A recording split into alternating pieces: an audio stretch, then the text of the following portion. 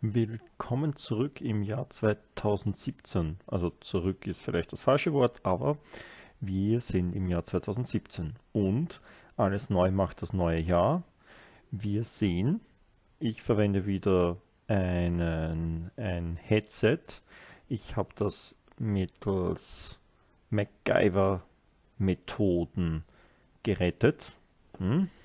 Sieht man? Duct Tape. Ja, das macht alles gut äh, irgendwie da. Nachdem das Mikro noch funktioniert hat und alles andere auch irgendwie funktioniert hat, habe ich mir gedacht, was soll's. Big muss halt einfach zusammen. Bevor ich was Neues kaufe. Gut. Das heute wird mein erster Upload. Ich war jetzt gerade sieben Tage oder so weg weg meine ich irgendwo fernab jeglicher Zivilisation. Ich hatte kein Internet, das war wirklich schön. Ich hatte trotzdem einen Computer, ich habe ein bisschen was gespielt, ja, aber die meiste Zeit waren wir eigentlich irgendwo unterwegs und haben so getan, als wären wir Einsiedler oder so. Ja, im Kino war ich auch. Ich habe mir Rogue One angeschaut. Das heißt, ihr könnt mich jetzt nicht mehr spoilern, ihr elenden Kinder. Mm, ja. Und das war es eigentlich schon. Nein, eigentlich war es nicht. Denn ich habe eine neue Challenge für euch. Unter anderem habe ich zu Weihnachten zwei Comics zu Pinky and the Brain oder von Pinky and the Brain bekommen. Nein, zwei Comics über Pinky and the Brain. Ihr kennt Pinky and the Brain? The Pinky, the Pinky and the Brain, Brain, Brain, Brain, Brain. Ja, kennt ihr? Wenn ihr es nicht kennt, schaut es euch an. YouTube ist voll mit dem Zeug. Oder Burning Series oder was weiß nicht was. An dieser Stelle habe ich nicht auf diese Piratenplattform verwiesen. Ähm, ja, auf jeden Fall, ihr kennt Pinky and the Brain. Und wenn ihr es nicht kennt, habt ihr es euch jetzt angesehen und jetzt wisst ihr, worum es geht. Die versuchen, die Welt zu erobern. Und um ehrlich zu sein, das ist eigentlich ein Plan, der recht genial ist und den wir als Lebewesen auch machen sollten, denn wenn die Welt von so jemandem wie mir regiert werden würde, dann wäre alles viel besser und daher die Challenge an euch.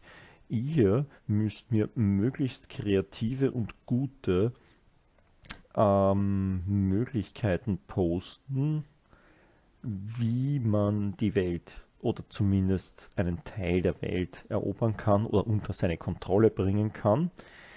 Dieser Weg sollte möglichst kreativ sein und möglichst auf eine Art und Weise, dass man nicht allzu viel Geld ausgeben muss. Was meine ich mit möglichst kreativ? Ich lasse nicht gelten, wenn ihr sagt, ich schleiche mich ins Atomwaffenarsenal der Vereinigten Staaten und stehle dort ein paar Interkontinentalraketen bestückt mit Nuklearsprengkopfköpfen, nicht Kopfen. Köpfen. Das ist nicht kreativ. Außerdem ist es so teuer. Wer von euch schon jemals eine Interkontinentalrakete im Rucksack hatte, weiß, die sind nicht einfach zu tragen. Das kostet Geld für Bagger und Zeug, um das Zeug zu transportieren. Gut. Diejenigen, die mir die besten Vorschläge schicken, werden natürlich wie immer beim nächsten Mal erwähnt. Gut, ich glaube, das war's. Ich wünsche euch noch viel Spaß. Ich mache jetzt mit Victoria 2 weiter und vielleicht poste ich irgendwann mal noch ein zweites Spiel auch. Ich habe jetzt nie ein paar andere Sachen auch noch aufgenommen, weiß ich noch nicht so genau. Ich bin ein bisschen unschlüssig. Es gibt kaum Spiele, die ich wirklich so gerne durchspiele. Hm. Naja, bis dann. Tschüss euch. Willkommen zurück zu meinem Let's Play Victoria 2 mit Österreich und dieses Mal sind wir nicht Österreich, sondern tatsächlich sind wir Österreich-Ungarn. In der letzten Folge hat es Italien geschafft, tatsächlich endlich Italien zu werden, was ich persönlich ganz, ganz mies und widerlich von ihnen finde, weil ich jetzt noch einen relativ starken Nachbarn, dieses Mal an der Südseite habe.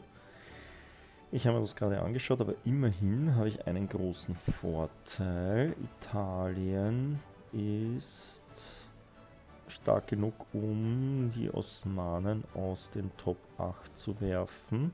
Das heißt, die Osmanen werden dort nicht bleiben. Und wir werden einfach anfangen, die Italiener mit äh, freundlichen Worten zu umschmeicheln und unsere, ähm, na, wie heißt das? Wir werden versuchen einfach, äh, dass er uns mag. Genauso wie mit, mit Russland. Die mögen uns auch und greifen uns deswegen nicht an. Vielleicht schaffen wir das mit Italien auch. Schauen wir mal. Wir müssen auf über 100 kommen. Dann kann er Kriegsgründe haben, so viel er will. Das wird ihm nicht reichen. Und er wird am Anfang noch nichts an, nicht angreifen, weil am Anfang hat er noch keine Verbündeten, aber ich sehr viele. Das heißt, vielleicht schaffen wir es ihn mal ähm, bezüglich seiner seiner Freundschaft uns gegenüber auf über 100 zu bringen, dann kann er uns nicht mehr angreifen und dann haben wir kein Problem. Und selbst wenn er uns angreift, dann greift er uns halt an, wir werden das schon schaffen irgendwie. Gut. Ja, Antirationalismus ist auch noch kurz davor erforscht zu werden von uns. Das wird was ganz was Tolles. Okay, Jör.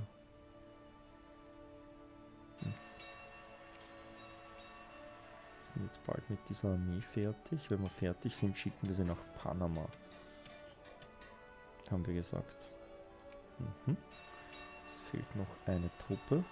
Wo auch immer die ist. Sie wird gleich da sein. Das Kartellrecht verbessert unsere Steuereffizienz. So, was haben wir da? Kolumbien hat die Beziehungen zu uns verbessert. Na gut. Äh, Sachsen hat mit Württemberg, ja, das ist gut. Frankreich, Deutschland, Württemberg zu uns verbessert. Oh, kann es sein, dass wir durch Österreich-Ungarn mit jedem wieder auf Null sind? Na super. Nicht nur mit jedem auf Null, wir sind mit Frankreich sogar im negativen Bereich. Oh, mit Deutschland sind wir auf 14 jetzt. Hm. Und wir haben auch keine Bündnisse mehr mit Frankreich. Und auch mit Japan. Ja, sehr gut. Und mit Russland. Ja, wir haben kein Bündnis mit Russland. Ja, das hatten wir aber nie. Ach Mist. Na, Russland verbessern.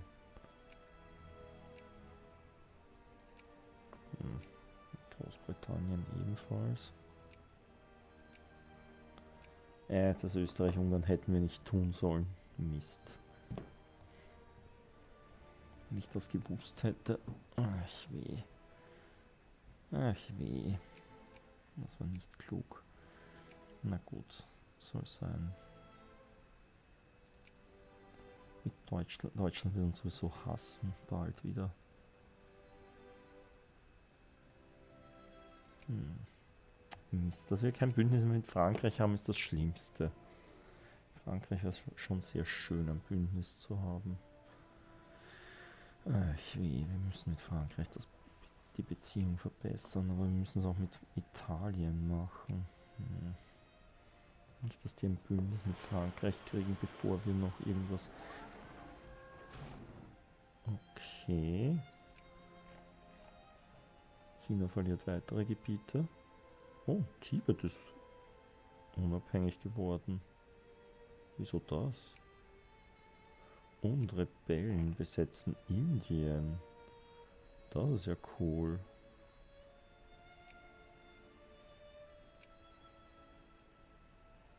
Und zwar ganz Indien fast.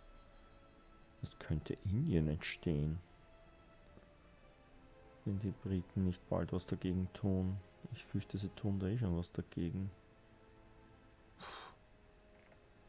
Das wäre natürlich schon cool. Britische Kommunisten. Nee, keine Nationalisten, sondern nur Kommunisten. Das heißt, es wird nichts passieren. Die Kommunisten müssten London besetzen. Naja, kann man nichts machen. Kann man nichts machen.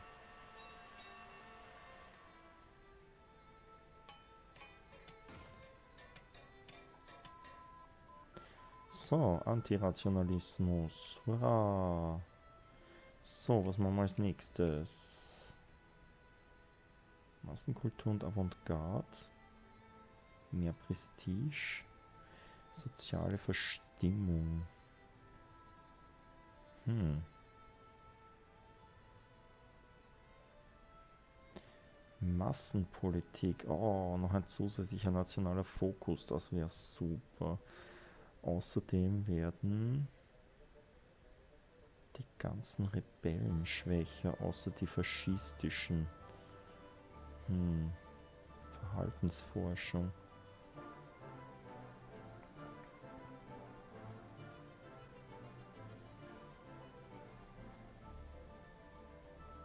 Auch nicht schlecht, da könnte man Radios bauen. Hm. Ah, das wäre alles so schön. Und da sind auch coole Sachen. Schichtarbeit, Stromgeneration. Uh, uh, und Armee sollten wir auch bauen. Hm. Massenpolitik wäre schon was sehr Cooles.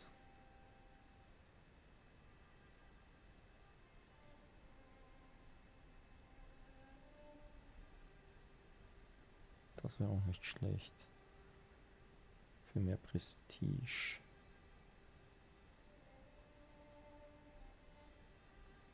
Hm. Nein. Nationaler Fokus. Oder, hm. Oder in die Armee investieren. Da könnten wir Panzer bauen. Hm. Das ist ja auch nicht schlecht. Das verbessert meine Leute schon sehr stark. Puh. Und zwar wirklich sehr stark. Wurscht. Auch nicht so wichtig. Hm, also auch nicht schlecht eigentlich. Das Repetiergewehr ist schon nicht schlecht.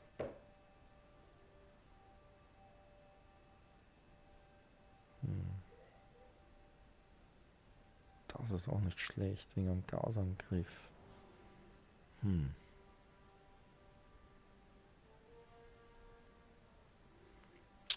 Was für gewaltige Entscheidungen. Hm. Panzer, Gasangriff oder Repetiergewehr.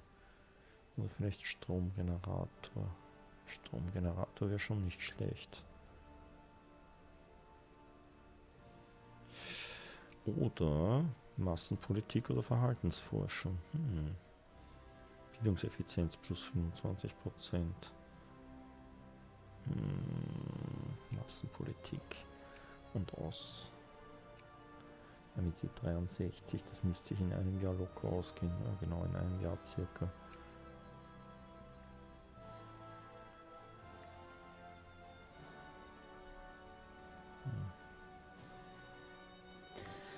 Na gut.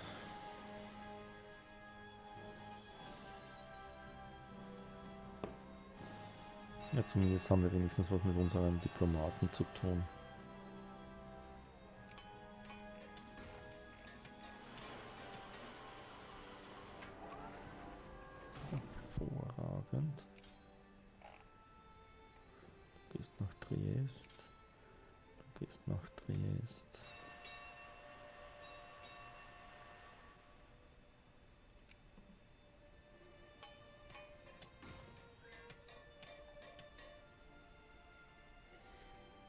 Hm.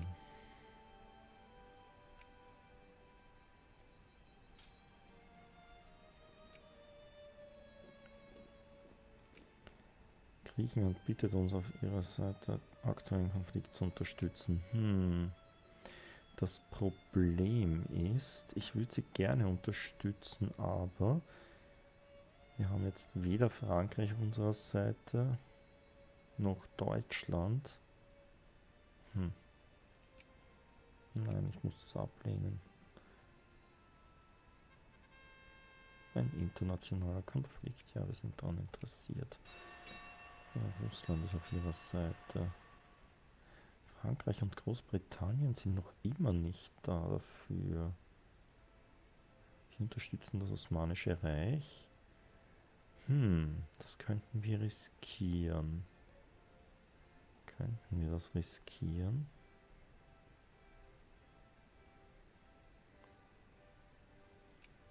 Wir unterstützen Russland, das riskieren wir. Osmanen und Deutschland gegen uns und Russland, das müssten wir eigentlich gewinnen können.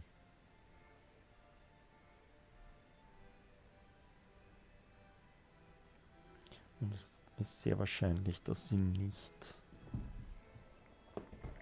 Es ist sehr wahrscheinlich, dass da ein Krieg entstehen kann. Das wäre nicht schlecht. Deutschland mal richtig zu demütigen wieder. Wäre sehr, sehr wichtig. Ich hoffe nur Italien kommt nicht auf die absurde Idee und fängt an mich anzugreifen, während ich dagegen die Wahnsinnigen kämpfe.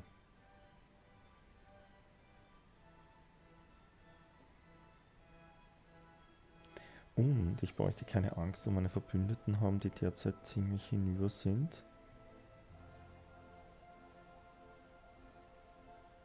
Weil sie wären nicht im Krieg dabei. Hm. Das war, weiß ich nicht, ob es eine kluge Idee war, aber auf jeden Fall war es eine interessante Idee. Außerdem wollen wir, dass, äh, dass sie Ostmazedonien erobern. Ich will ein schwaches Osmanisches Reich haben. Ich will ein starkes Griechenland haben. Eigentlich alles, was ich will. Hm. Bis das zum Krieg kommt, kann man noch immer ein paar Sachen ändern. So, ihr fahrt nach Panama. Und ihr gebt mir doch bitte Werden nicht akzeptieren. Sehr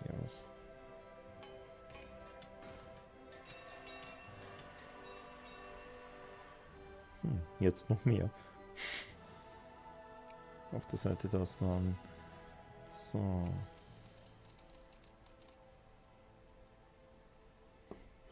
Die nennen wir erste Überseetransportflotte, oder?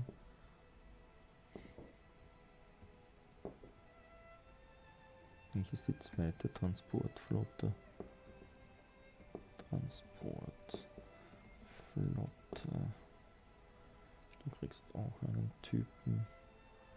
Irgendeinen. Der gut in der Verteidigung ist, weil angreifen werde ich mit euch sicher nicht.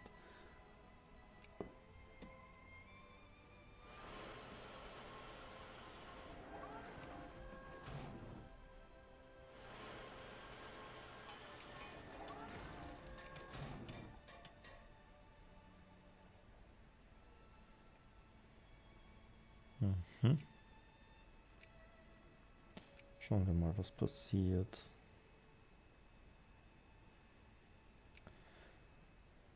Russland und ich gegen diese zwei Wappler.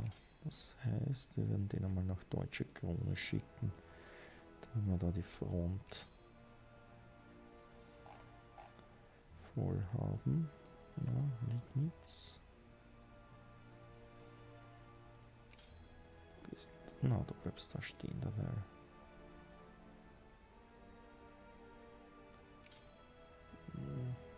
Ist dafür da nach Lukova und du nach Shishak.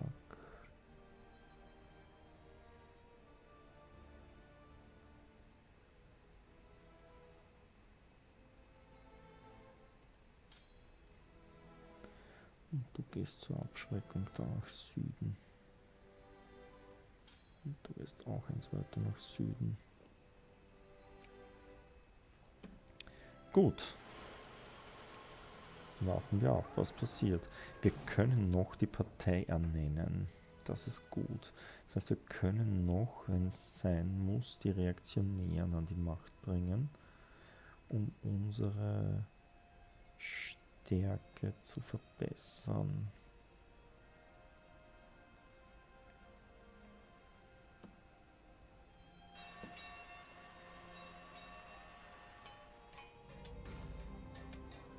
Hey, das ist aber einfach gegangen. Sehr gut.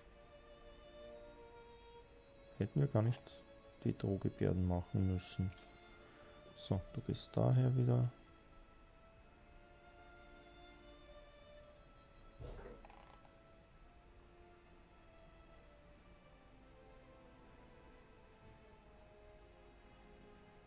Du bleibst da.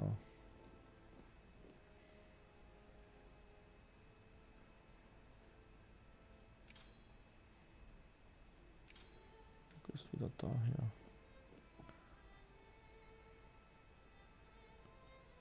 Hm. Bleibst in Tarnov. Du bleibst in Opel.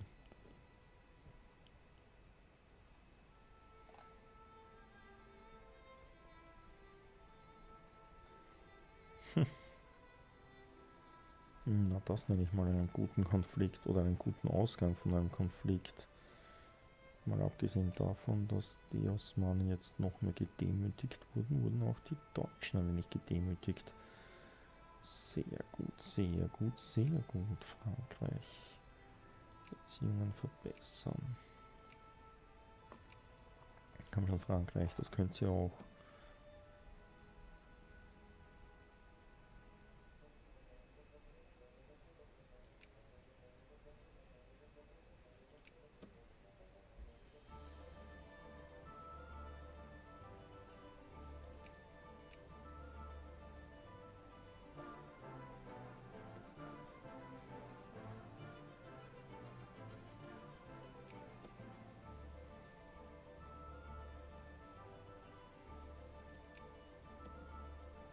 Mhm.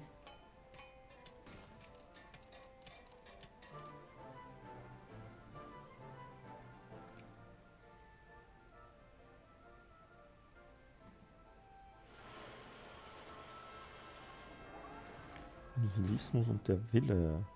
Die Grundlagen für den philosophischen Trend des späten 19. und frühen 20. Jahrhunderts, sich von der Betonung auf die menschliche Rationalität zu entfernen, wurden durch die, eine Erneuerung des Interesses einiger Philosophen am Nihilismus geschaffen, die Zurückweisung des Gedankens, dass das Leben des einzelnen Individuums im großen Gefüge des Universums auch nur die geringste Bedeutung hat. Das ist gut. Das sollten sich meine Arbeiter endlich in den Sinn wenden, dass das, was sie tun, vollkommen bedeutungslos ist. Das Einzige, wozu sie da sind, ist, dem großen Ganzen zu dienen. Tja, immerhin 4,1 Prestigepunkte die ersten am Pol. Schon wieder. Ja, wir stellen eine Expedition auf. Wie oft soll ich denn das noch machen? Mist. Hervorragend. Mhm. Okay, machen wir das. Ach ja. Hervorragend. Ach, Kommunisten. Ärgerlich. Was machen die jetzt? Hm. Geben wir Geld aus für meine Truppen. Naja, das schaut jetzt nicht so großartig aus, was ihr da habt. 40.000 ist das größte Kontingent, was ich da sehe. Das ist jetzt nicht gerade so. Ah, da ist nochmal 40.000.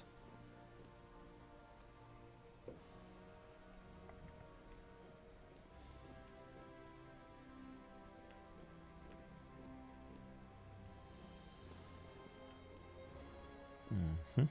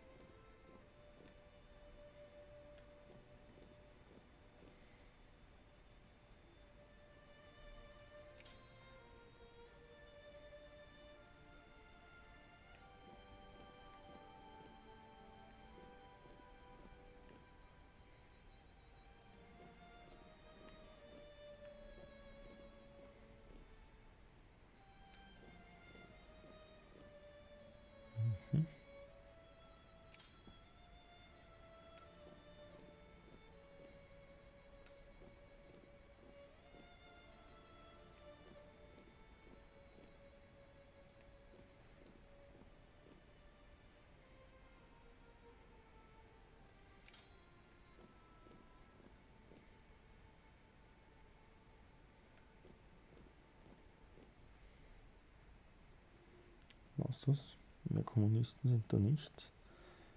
Ja, sehr nicht, dass man das. Gibt es da irgendwelche Kommunisten? Tatsache.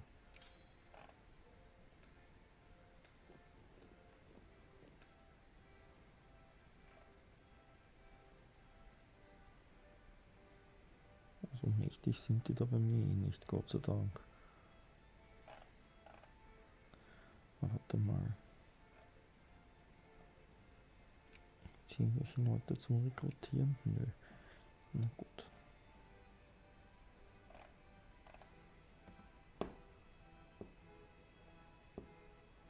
So, Budapest hat gewonnen.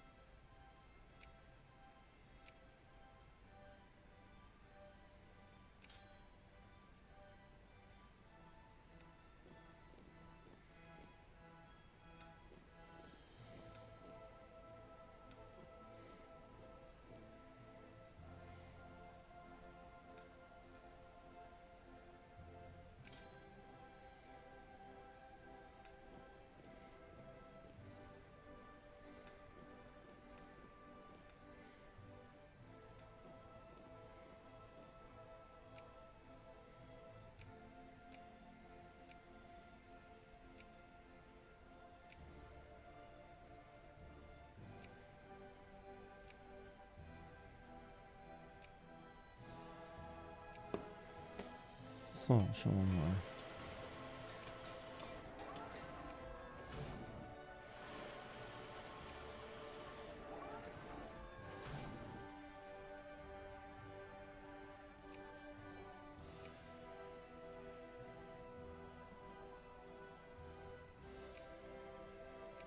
Soll das mit dem Bündnis eigentlich dann auch klappen?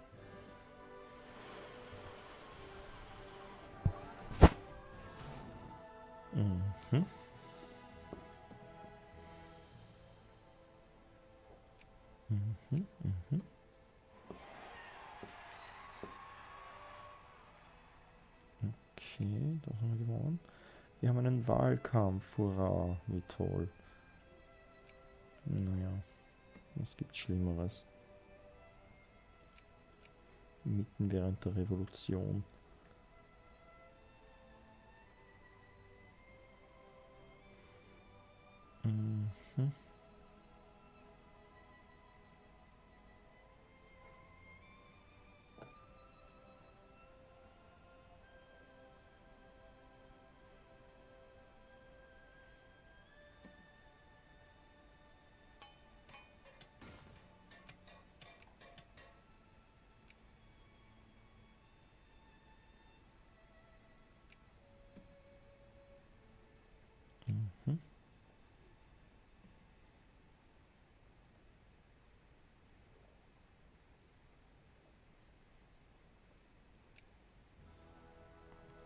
Konkursverfahren, auch nicht schlecht.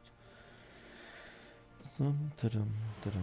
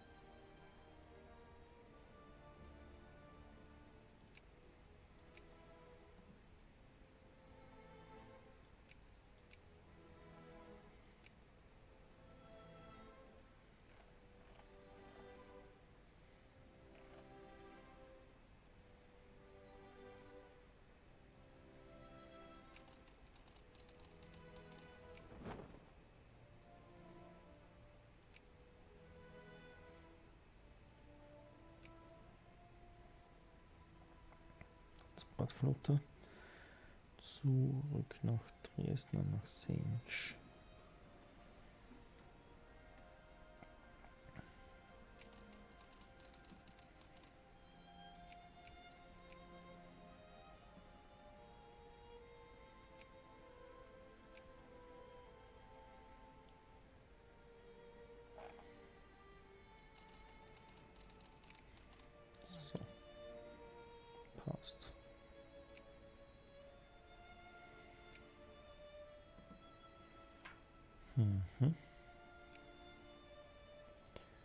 Gut, was wollen wir? Wir wollen... Wir wollen, das ist schwer zu sagen, was wir wollen. Wir wollen die Sozialdemokraten aber auch. Wir wollen einerseits die Sozialdemokraten wegen ihrer Wirtschaftspolitik. Wir wollen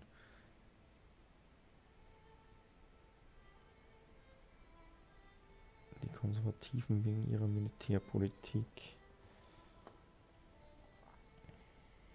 Die wegen ihrer Handels- und ihrer Menschenrechtspolitik. Mit keinem von den dreien kann ich leben, das ist sehr ärgerlich. Na, bleiben wir halt bei den Liberalen, was soll's. 30% mehr von, na, gut, Freihandel. So, apropos. Wir können da jetzt ja durch. Das könnten wir mal ausprobieren. Das funktioniert. Das können wir dann auch ein Bündnis anbieten. Wir zumindest mal eines da.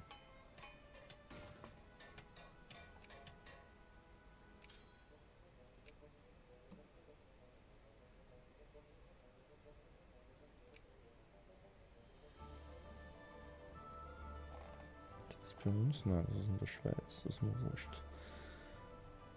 So.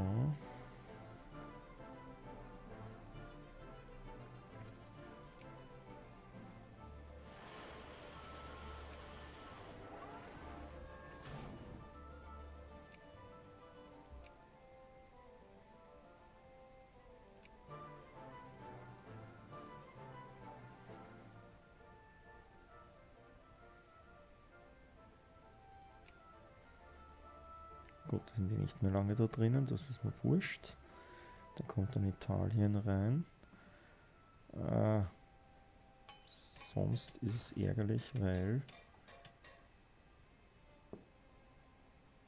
Quantentheorie. Die dramatische Wissenserweiterung im 19. Jahrhundert führte zur Hinterfragung des rationalen Modells der grundlegenden Strukturen des Universums das im späten 17. Jahrhundert mit der Arbeit von Isaac Newton seinen Höhepunkt erreicht hatte. Hm? Hört ihr? Keine analoge Welt, sondern wir begeben uns in eine digitale Welt. Während die wissenschaftliche Ausrüstung immer präziser wurden, führten Diskrepanzen bei den Modellen atomaren Verhaltens, wie sie im 19. Jahrhundert verstanden wurden, zu weiteren Erforschungen der Natur atomarer Partikel und ihrer Interaktion mit Kräften wie Energie. Als Ergebnis der Arbeit von Physikern wie Albert Einstein und Werner Heisenberg wurde die Vorstellung, Menschen könnten die grundlegenden Strukturen des Universums präzise entschlüsseln, als falsch bewiesen. Man schlug einen alternativen Ansatz vor, der besagte, dass es in der Struktur und im Verhalten von atomaren Partikeln unberechenbare Elemente gab. Obwohl dies ein großer Fortschritt des menschlichen Wissens um die grundlegenden Strukturen der Materie war, erschütterte die Betonung auf die Zufälligkeit mancher natürlicher Elemente den viktorianischen Glauben an die Fähigkeit der Menschheit, die Natur vollständig zu begreifen, in seinen Grundfesten und stärkte die Ansicht, dass die Welt tatsächlich nicht auf vollständig rationalen Verhalten und Vermutungen gebaut war. Hm. Wir haben es leider nicht allzu früh entdeckt, deswegen nur plus 3,1 Prestige, aber plus 3,1 Prestige ist plus 3,1 Prestige. Gut, in Lemberg sind wir mit irgendeiner Truppe auch angekommen. Hm. Ihr könntet jetzt ruhig versuchen, freundlich mir gegenüber zu werden, alle miteinander. Ah, Russland muss ich auch auf 100 bringen. Wieder, ich mag nicht, dass mich die angreifen können, super. So, in Sachsen werden wir jetzt einmal den Botschafter von Deutschland ausweisen als erstes. Griechenland. Ja. Gesenden von Frankreich. Ist auch schon wurscht jetzt. In Württemberg haben wir niemanden. In Bayern senken wir die Meldung auf in Deutschland. Mhm.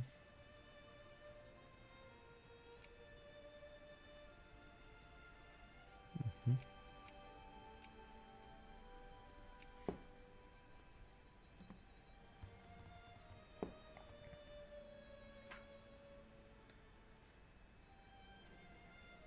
Hm. Pro-Militär, das sind die Konservativen und die Radikalen. Die Radikalen wären super eigentlich. Aber ich fürchte... Oh, ich fürchte, das wird nicht spielen. Weil die Liberalen einfach zu stark sind. Griechenland wieder einen Bund müssen, dann nehmen wir doch glatt an.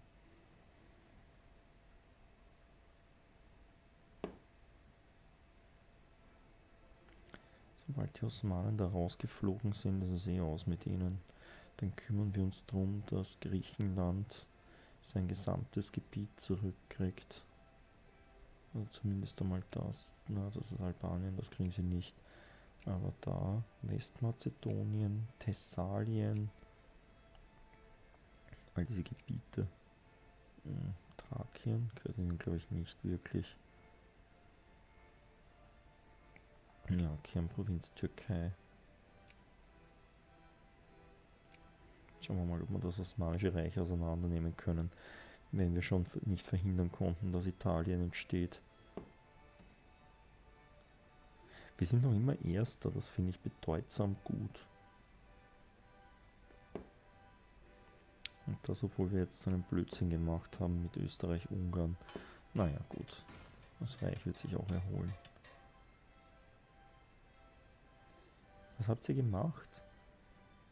Die einen habt ihr besiegt und die anderen nicht? Hm. Nein, kein Pazifismus.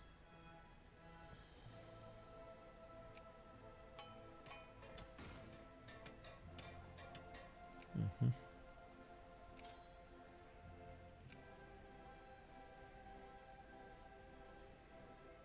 Hm.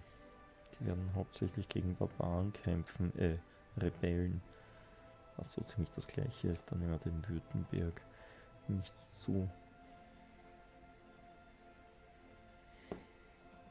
Großartiges.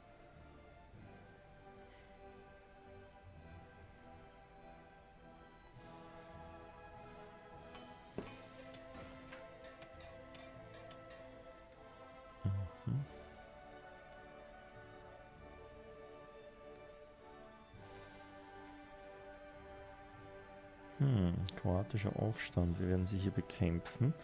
Minus 1% Bevölkerung in Shishak und 4 Militanz. Treibt sie auseinander. Hm.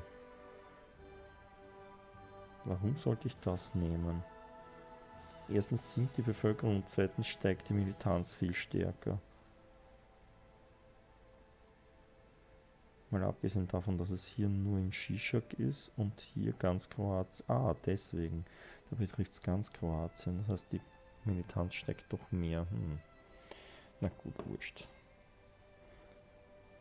Kroatien ist ein untergeordneter kleiner Punkt in Österreich. Wenig Bevölkerung. Hm.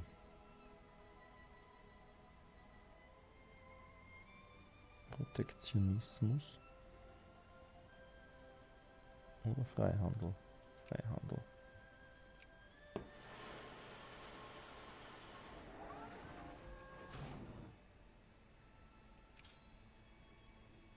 Mhm. So, schauen wir mal. Hier hat noch die, den Punkt. Brauchen wir vielleicht noch eine Armee. Oh, ich sehe gerade, wir haben schon 36 Minuten hinter uns. Herrschaften, ich werde diese Armee in der Pause machen. Ich wünsche euch einen schönen guten Abend, schlaft gut und träumt was Schönes. Bis bald.